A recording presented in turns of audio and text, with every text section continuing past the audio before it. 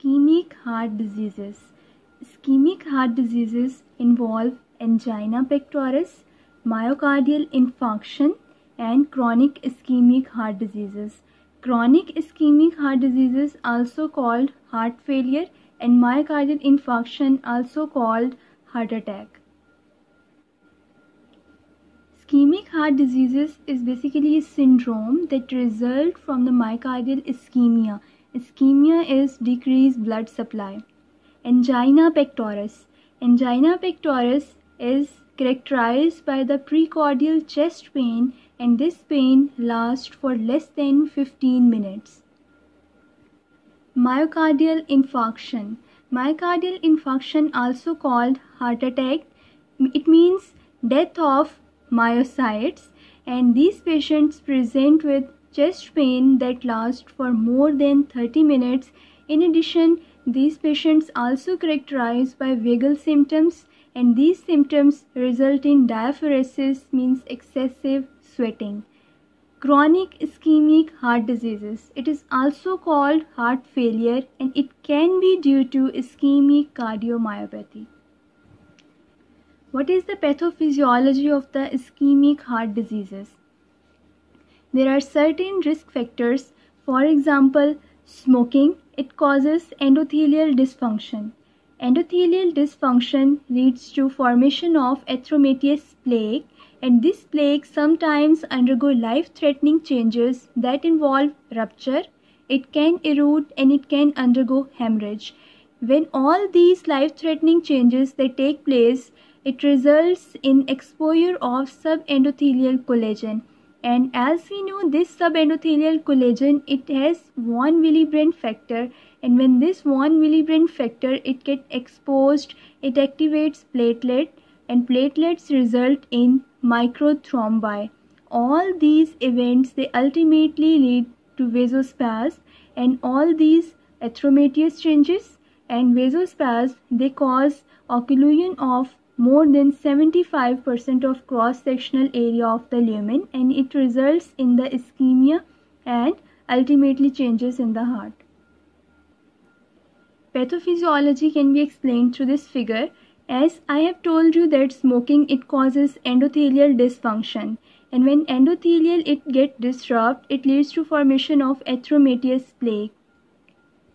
This plaque sometime undergo life-threatening changes and result in thrombosis, hemorrhage and ultimately it expose subendothelial collagen and this collagen has von Willebrand factor and this von Willebrand factor will activate the platelets and result in thrombus formation and this thrombus and erythematous plaque it occlude the cross-sectional area of the lumen more than 75%.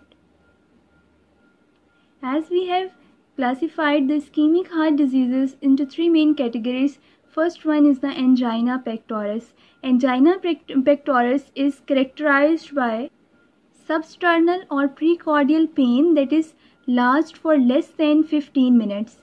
Angina it is classified into further three categories. Angina can be stable which is the most common form of the angina pectoris and it is caused due to erythematous plaque and this plaque results in uh, ischemia and severe chest pain that lasts for less than 15 minutes and this pain relieves by rest and through the vasodilators. And the pain of stable angina it get exaggerate due to physical activity or stress as we know during physical activity demand of the cells for oxygen increases and so this pain of the stable angina it relieves at rest. Next category is the Prinzmetal angina.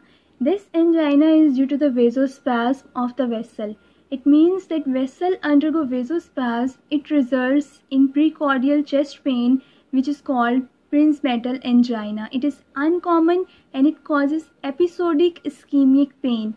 This pain is unrelated to physical activity and as it is caused due to vasospasm, it responds well to vasodilators. Next category is unstable or also called crescendo angina. This angina is characterized by severe pain for more than 20 minutes, also called frank pain and this angina is precipitated by low physical activity and rest and it does not respond to vasodilators. Next category of ischemic heart diseases is myocardial infarction. Myocardial infarction is also called heart attack and it characterized by chest pain or precordial pain for more than 30 minutes and also characterized by vagal symptoms because when patient experience pain catecholamines release and these catecholamines they cause symptoms that mimic the heart attack there are three vessels that involve during myocardial infarction it can be left anterior descending that involve in 40 to 50 percent of cases left anterior descending artery it supplies the apex of the heart anterior left ventricular wall and anterior two-third of the interventricular septum. Next artery is right coronary artery. It involves in 30 to 40% of cases of myocardial infarction.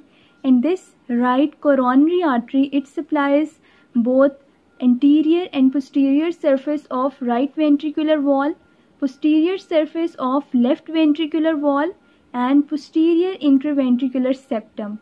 And as it supplies mostly posterior left ventricular septum so it is called dominant. And heart in this case is right heart dominance. And the third artery is left coronary artery. It supplies the lateral wall of left ventricle and it involves in 15 to 20 percent. It means that three arteries can involve during myocardial infarction. Left anterior descending it involves in more than 50 percent of cases.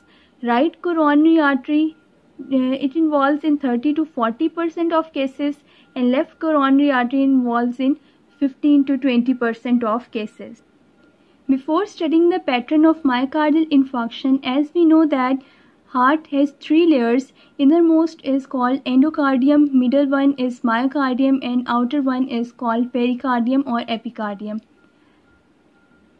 In vessels of the heart they present on outer side of the epicardium and first they supply pericardium then myocardium and at last they supply endocardium. So endocardium is the least perfused area of the heart and when endocardium undergo infarction it is called subendocardium infarction and as we know it is least perfused area of the heart. This figure shows that this portion is the endocardium, this is myocardium and this is pericardium. When endocardium of the heart involves, it results in subendocardial infarction and patient uh, ECG present with ST depression. Transmural infarction This infarction involves the full thickness of the ventricular wall and usually epicardial vessels involved. This diagram shows that all the three layers of the heart are involved during transmural infarction and on ECG it represents ST elevation. Third pattern of myocardial infarction is multifocal microinfarcts.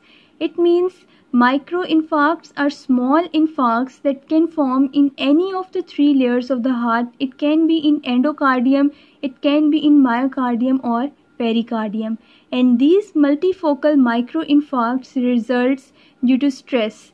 As stress releases catecholamines from the adrenal glands and these catecholamines produce symptoms that mimic the heart attack results in multifocal microinfarcts also called broken heart syndrome. As this figure shows that heart is broken, this figure shows that during stress catecholamines release which mimic the symptoms that are produced during heart attack and results in broken heart syndrome. Morphological changes during first 24 hours following myocardial infarction. First, fibers become wavy and early coagulative necrosis start and early neutrophilic appearance start. Neutrophilic appearance it shows that inflammation is going to start When blood vessel of solid organs occlude, it results in coagulative necrosis. As the figure shows that there is dark mottling and it is very difficult to appreciate myocardial infarction during early stages but this stain tetrazolium stain makes it very easy to diagnose the myocardial infarction during early stain then 1 to 3 days following myocardial infarction, coagulative necrosis, it becomes extensive. And neutrophilic infiltration, it shows extensive acute inflammation.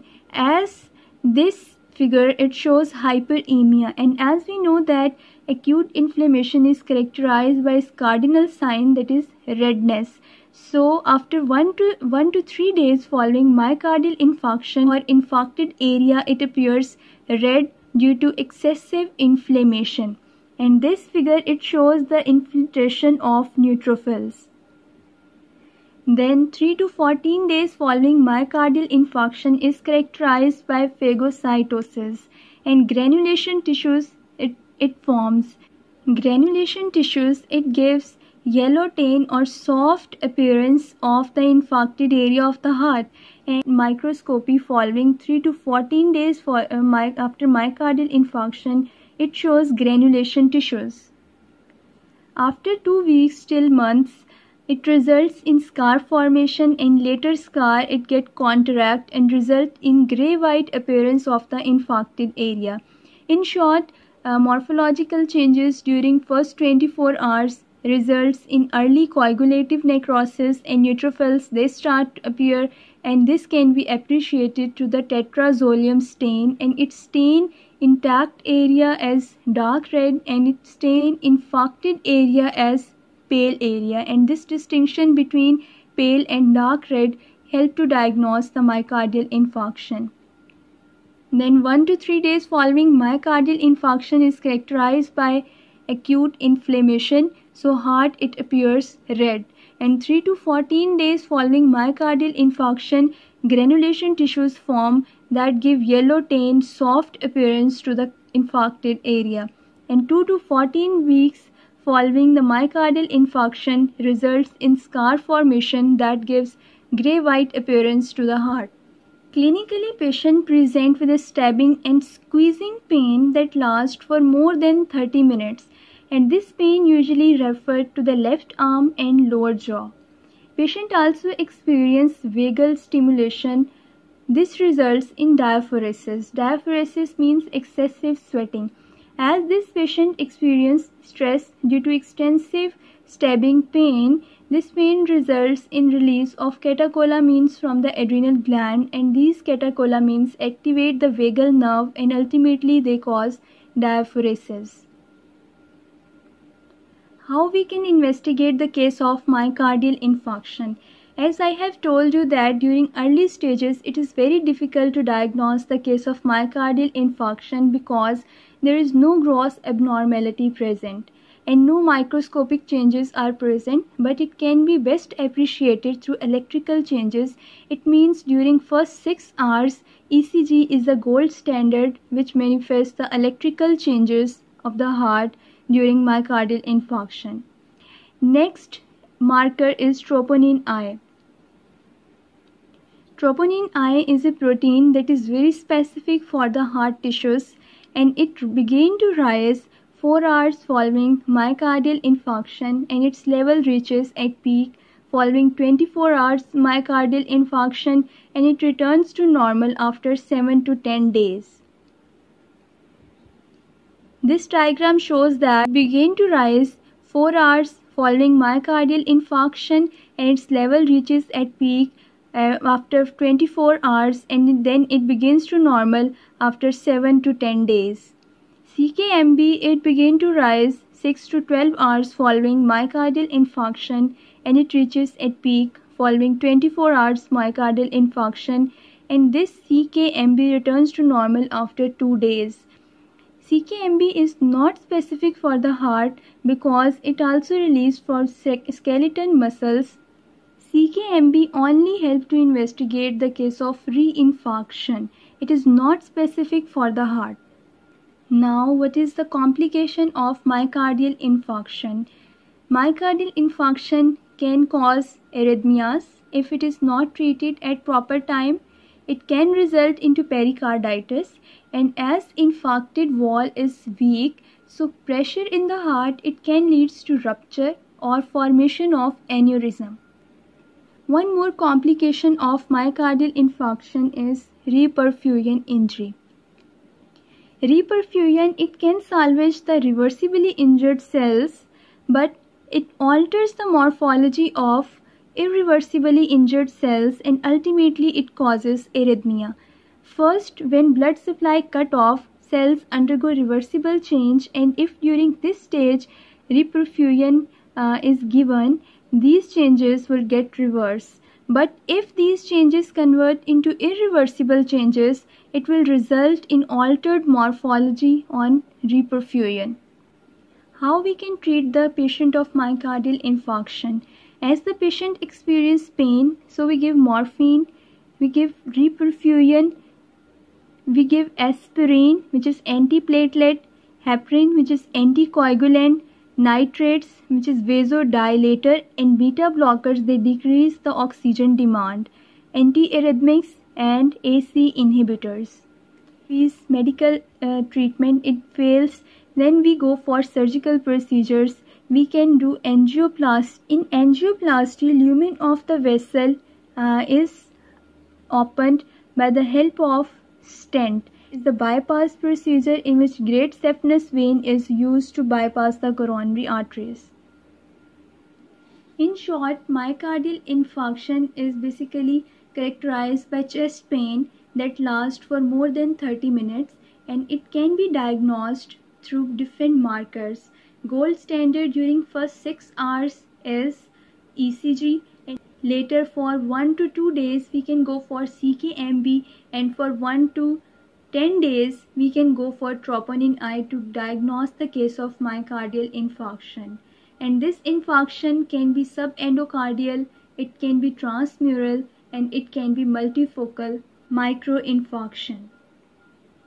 Morphological changes during early 24 hours there are waviness early coagulative necrosis and early infiltration of the neutrophils that can best be appreciated through tetrazolium stain. 1 to 3 days it causes acute inflammation and it results in red appearance of the infarcted area. 3 to 14 days following myocardial infarction results in granulation formation and granulation tissues it gives yellow soft tan appearance to the infarcted area and two weeks to few months following myocardial infarction results in scar formation and this infarcted area it appears gray white. This is all about myocardial infarction.